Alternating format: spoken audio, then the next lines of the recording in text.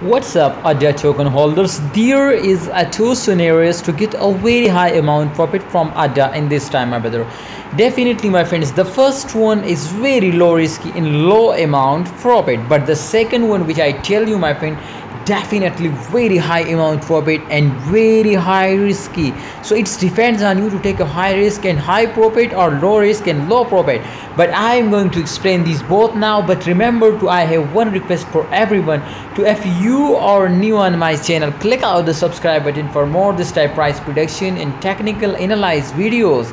And yeah if you enjoy this video then smash down the like button.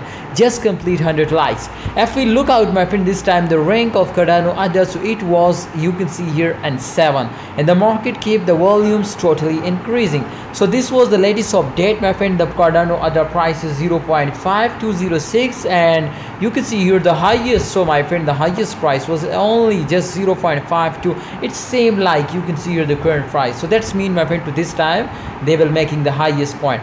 Definitely if you or buy it in this time my brother and hold it for just in only 24 hour. So i'm going to show you the last 24 hour chart.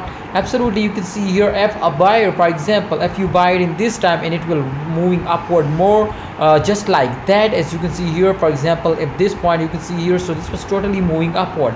So this is they will make up five percent. You can see here the price was five percent and so it is good profit but it is very low risky if it was decreasing also then just in only five percent and it will price will come down to 0.470 usd dollars. So it is nothing. But if we look out my friend the last seven days chart so you can see here in last seven days they will jump pump pump 13.84 percent so i think is high amount. But remember if you look this time the price was 0.4443 usd dollar and if it pumps up my friends to 0.5207 USD dollar. But this was comfortably starting moving upward very slowly in the same momentum.